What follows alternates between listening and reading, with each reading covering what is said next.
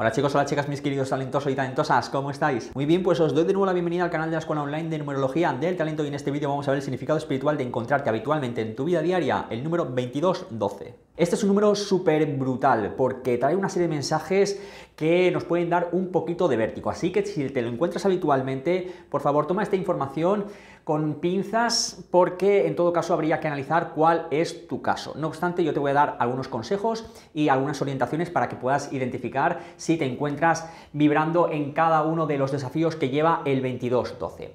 En primer lugar, yo considero que todos los números que te vas encontrando al fin y al cabo traen un mensaje poderoso para tu evolución. Así que lo que te voy a compartir aquí, ya te digo, te vas a calmar y sencillamente lo vas a respirar y sencillamente vas a hacer un ejercicio de revisar internamente hasta qué punto mm, eh, estos mensajes tienen virulencia, es decir, te resuenan, ¿vale? Sí, bueno, a ver, en fin, a ver qué pasa. Bueno, el 2212 mm, suma el número 7 mm, y tenemos aquí una serie de condicionantes a nivel numérico que hay que considerar. En primer lugar, este número empieza por 22, que es un número maestro. Por otra parte, es un número que termina por 12.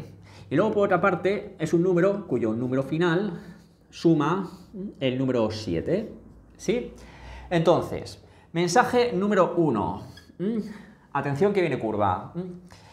Vamos a ver, muy probablemente estás arrastrando una serie de pactos mm, de otras vidas. Pactos, contratos, eh, promesas, fidelidades, llámalo como quieras, memorias, ¿sí? todo aquello que es una información limitante. Un pacto es algo limitante, es algo que tal vez no te está permitiendo obtener algo en esta vida. ¿Sí? Porque el número 12 nos dice, em, bueno, estás siendo condicionado por algo que, atención, te tatuaste, te tatuaste como muy a fuego en tu existencia en una vida anterior, ¿vale? El número 7. Entonces, tal vez ese pacto, ese contrato, ese compromiso que llevaste contigo mismo em, en otras existencias, resulta que se está reflejando en esta. Y tú dices, madre mía, ¿y qué pasa? Bueno, pues que muy probablemente has desarrollado una vida, has construido tu, vida actual basándote en la limitación de esos pactos. ¿Sí? Atención, a ver si te suena esto. Que esto, además, es que la gente lo sigue haciendo y yo no lo entiendo. Porque yo puedo entender que a lo mejor bueno, pues en otras eh, vidas pues teníamos menos conciencia o teníamos otra manera de pensar o, bueno, pues lógicamente pues no había tanta luz eh, y, bueno, pues, en fin, pero que hoy en día se siga haciendo, ¿eh? A mí me da un parraque, yo no lo puedo entender. A ver si te suena esto, el voto de pobreza, ¿sí? Votos de pobreza de otra vida. Fíjate lo que te está diciendo el 2212. Te está diciendo que seas consciente de que tal vez alguno de estos votos puede ser algo que te está fastidiando a día de hoy. Y es hora de qué? De sacar la lejía y desinfectarlo porque eso ya no tiene sentido para ti en esta existencia. Tú le das el sentido a medida que lo perpetúas.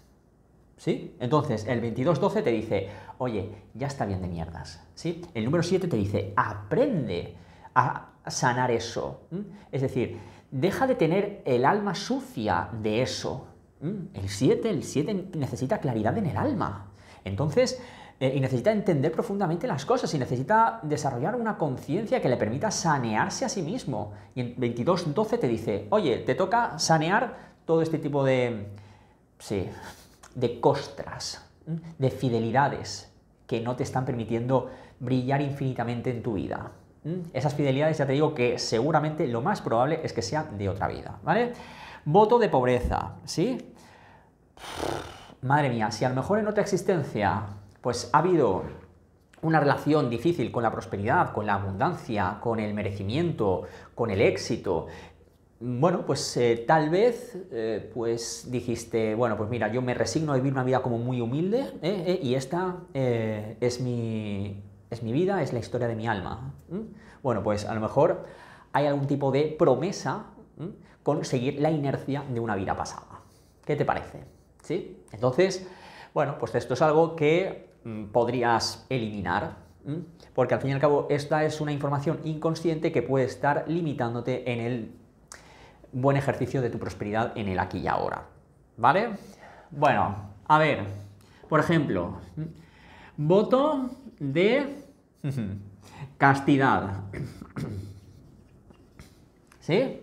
Ay, es que nunca llega, nunca llega el amor a mi vida, es que todas las parejas me salen mal, o es que soy una persona que me cuesta muchísimo abrirme a una sexualidad plena, o es que pues eh, he tenido también una educación sexual pues bastante, bastante pobre eh, y tal, y me, han inculcado mucho la, cultura del pecado y este tipo de cosas y tal, ¿no? Entonces, eh, a lo mejor eso también, ya te digo, se está retroalimentando de otra vida. Y esto lo hace, lo hace mucho, pues, bueno, aquí en la religión católica, el voto de, de, castigar, o sea, todo este tipo de cosas que se siguen haciendo, Cuidado, porque lo que tú haces en esta vida luego repercute en las siguientes. Y también puede repercutir en las anteriores. Todo pasa en el ahora. Recuérdalo. Entonces, la ilusión de que estamos viviendo en el, en el, en el, en el ahora, que tenemos un presente y que tenemos un futuro por delante, eso no es cierto. Todo pasa en el ahora. ¿Sí? Incluso tu pasado está presente en ti y tu futuro está presente en lo que haces ahora también. ¿Comprendes? Entonces, tú decides hasta qué punto mm, perpetúas este tipo de cositas. ¿sí? Las de pobreza y las de castidad eh, son tal vez las promesas como más famosas o las más habituales. ¿sí? Pero hay un montón. ¿sí? Entonces, claro, por otra parte, tenemos todos esos votos, todos esos compromisos eh, con, otras almas. Yo me he encontrado trabajando con diferentes técnicas personas que no tienen un, problema eh, directamente con, con, el voto de castidad, sino que directamente te dicen, es que además es horrible, bajo mi punto de vista, es solamente una opinión. Pero estamos aquí en el caso de que, imagínate una pareja que se quiere mucho en otra vida, ¿no? Y dice, nos volveremos a encontrar en otra vida y, continuaremos nuestra historia, ¿sabes? Y ahí generan un compromiso de encontrarse, ¿sí? Y volver a coincidir, ¿sí? Eh, para continuar la historia donde que se acabó en la vida anterior, ¿sí?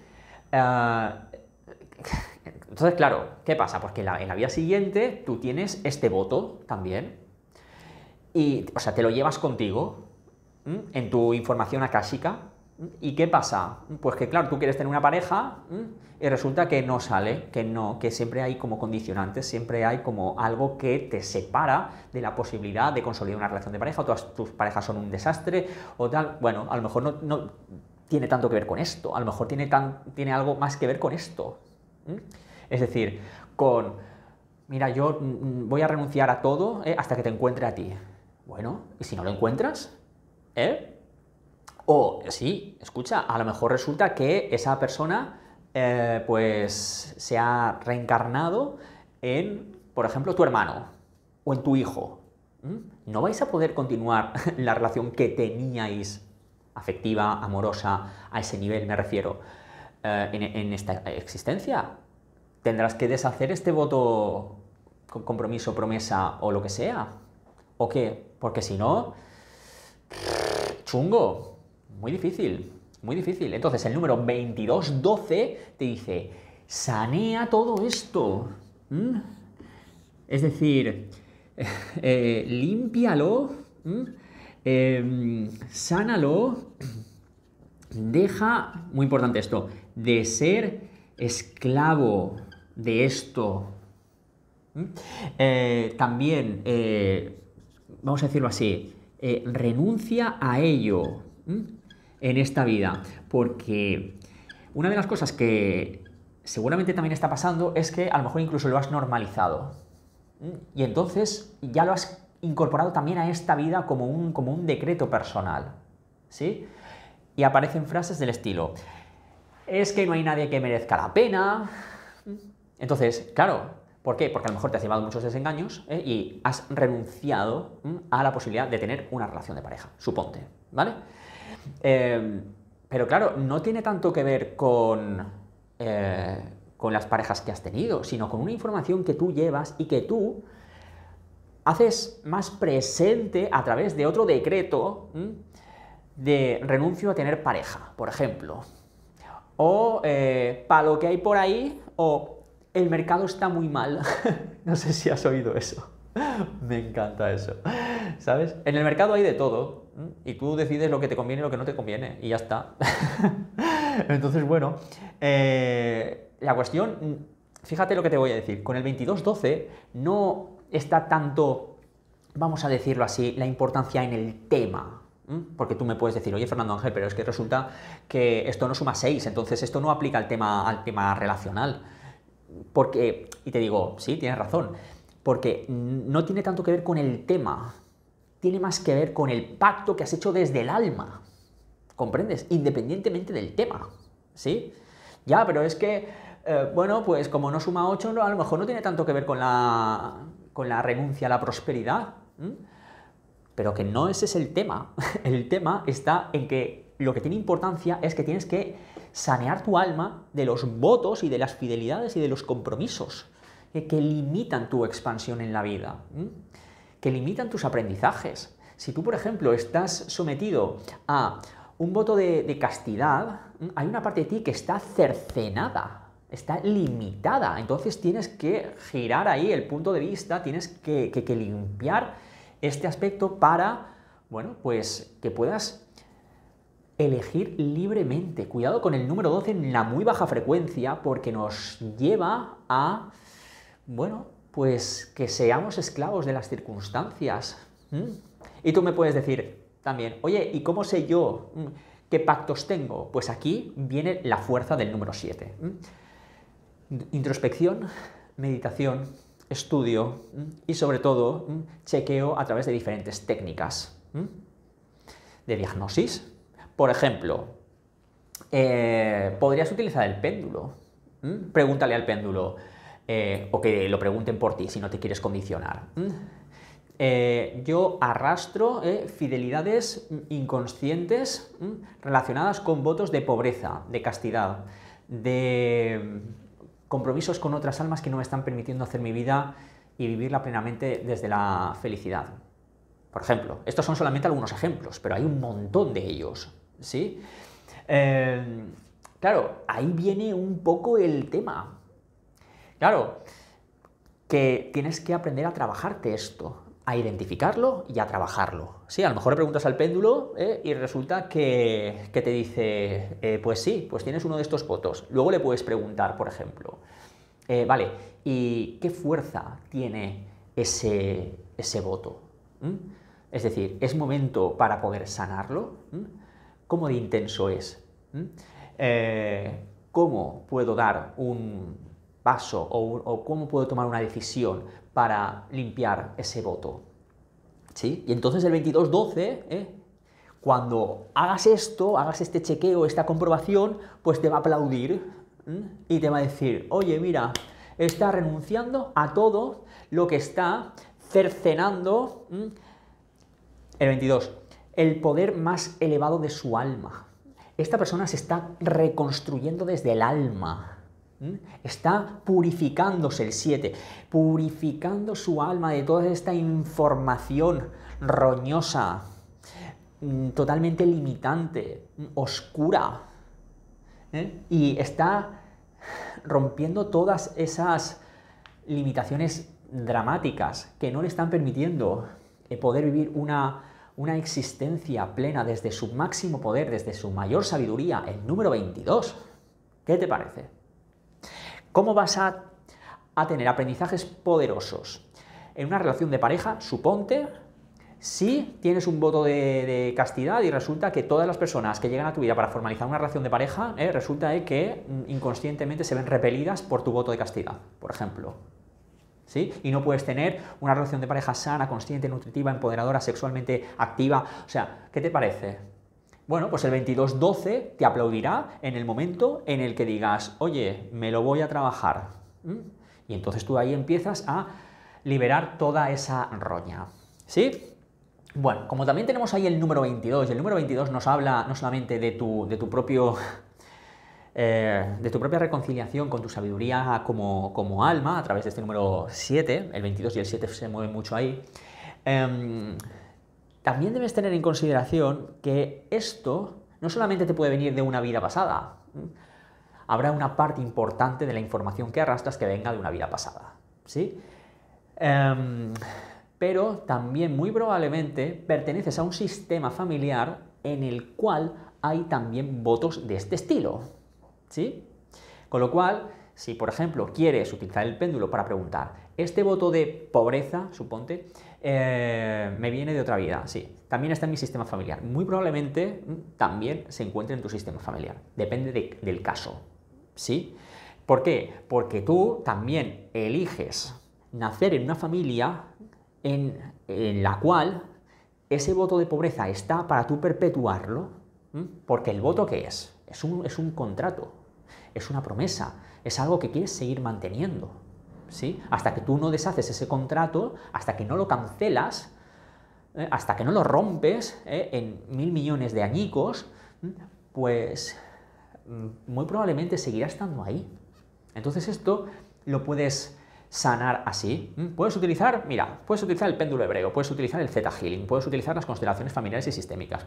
el otro día hicimos una constelación que, madre mía, de mi vida y de mi corazón. Bueno, en fin, ya, ya os lo contaré. Eh, o sea, puedes utilizar eh, meditación, puedes utilizar la, respiración consciente, puedes utilizar la reprogramación subconsciente, o sea, tienes de técnicas eh, todas las sabidas y por haber para poder sanear esto.